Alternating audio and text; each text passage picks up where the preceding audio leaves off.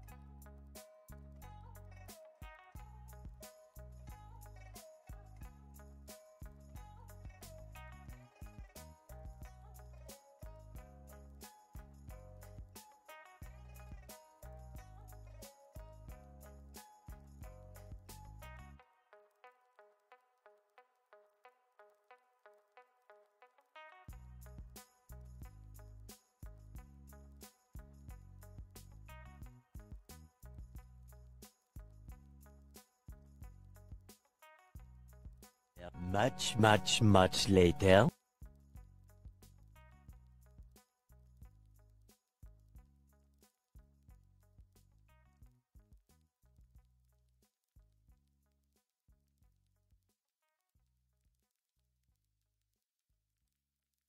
Three hundred and forty-six minutes later.